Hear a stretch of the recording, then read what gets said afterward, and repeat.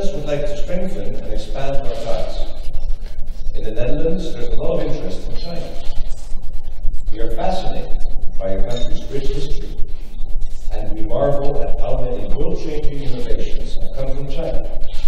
Paper, printing press, rice farming, porcelain, tea, silk, compass, oars, matches, gunpowder. The list